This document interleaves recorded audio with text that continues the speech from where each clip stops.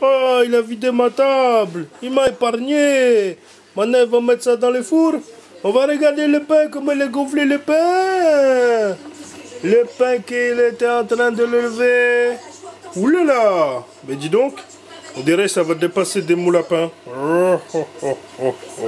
On va se régaler. Miam miam. Oh là là, tu vas voir la suite. Bon, moi j'y connais rien, mais on m'a dit, oh, tu peux aller mettre euh, les gâteaux dans les fours. On va essayer de faire ça. Eh Ouh, c'est chaud, ça brûle. Oh là là. J'ai envie d'enlever mon blouson, j'ai envie de me mettre tout nu. Qu'est-ce que c'est que ça? J'arrive même pas à prendre avec ma main. Oh là là Tu veux que je te filme? Non, c'est bon, tu veux le mettre? Oh C'est beau Oh Je sais pas combien on va en mettre. Si on peut mettre les quatre, ça serait trop bien. Hein? Oh C'est vrai qu'il fait chaud. Hein? J'ai envie de boire un jus, hein? comme par hasard. Il fait trop chaud ici. Hein? Ici.